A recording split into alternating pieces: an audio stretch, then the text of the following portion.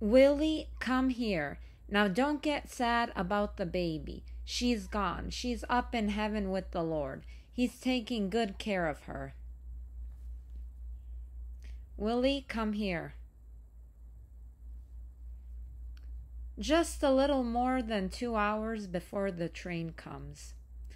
It's a good bag. Had it made for me by an Indian woman on your reservation. You know her, that Henrietta. She never married. Somebody told me she lost her love. An Indian boy who drowned in the river, like our baby. Remember the river by the town? I'm getting older inside of me. Outside, my face is getting wrinkled, but inside, I'm almost empty. The juices are drying up, the light is dimming. I'm killing myself staying with that man. He'll always be what he is. He'll never do anything with himself. He feels so bad about himself deep down. He says nobody ever gave him a chance because he's an Indian.